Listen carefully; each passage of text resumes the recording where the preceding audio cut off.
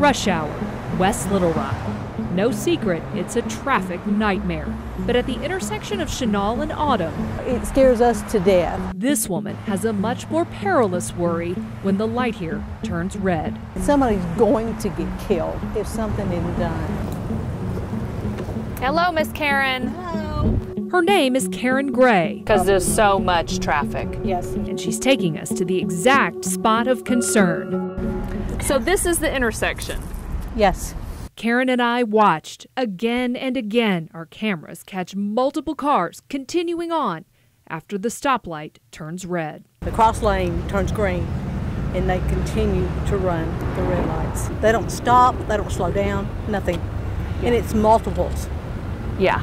It's every time the light turns. What Karen wants verified is this If they are trying to do anything, they being police. So we asked Little Rock Police Lieutenant Steve McClanahan to answer Karen Gray's questions. Karen showed the lieutenant exactly what she sees every day when she leaves her neighborhood. The light turns red, yet cars don't stop. no, nothing nothing seems to be getting done. Always. There are at least two, three, sometimes more cars go through the red lights. They don't even slow down.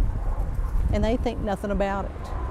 It's dangerous. Lieutenant McClanahan agrees it is a danger, but also explains it is a low priority. If I'm on way to a call, if it's a high priority call like a shots fired or a disturbance, we're going to keep going to that. McClanahan also shares with Karen there's another pressure for police.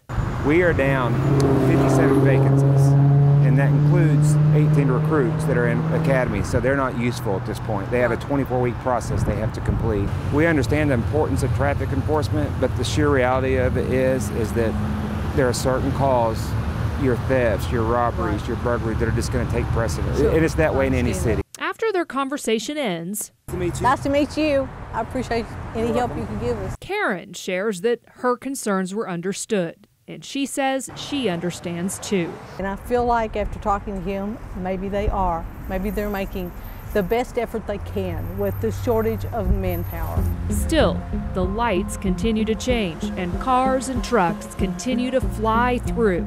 She wishes drivers would just stop. But someone is going to get killed. Please be cautious.